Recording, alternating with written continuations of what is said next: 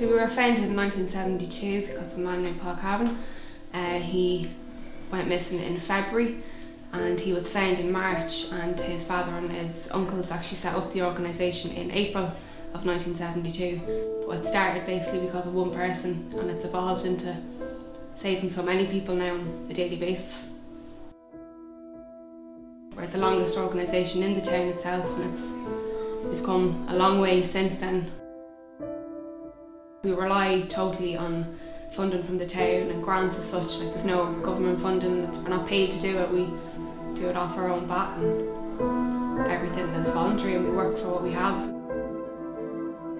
It's all about volunteering and giving your own time and give what you can and do what you can. And we all do the same job at the end of the day. We're all there doing the same thing because we want to do it. It's not because we're getting paid, it's the want of doing it.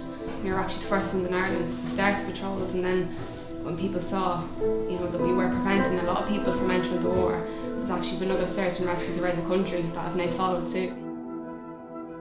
It's never easy to see anything, it's never easy to see a family in distress or even to think of somebody that could go to some extreme that they're just so low they'd have to do, you know, end their life. That would be the worst part of the job, unfortunately.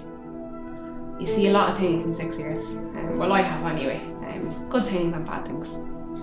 It's hard to balance out a social life and family life at the same time. I mean, it can be done, but it can be pretty difficult.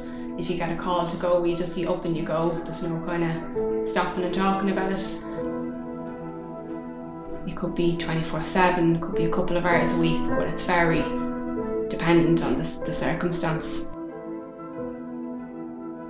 it started out just kind of very superficial, you know, um, driving boats and things, but then you really get to see the ups and downs of it, and you do kind of grow up a little bit when you see, you know, real life situations come to light. You know, it's not, you know, a TV show; it's real life. Don't think I could ever give it up now once you kind of sign your life away.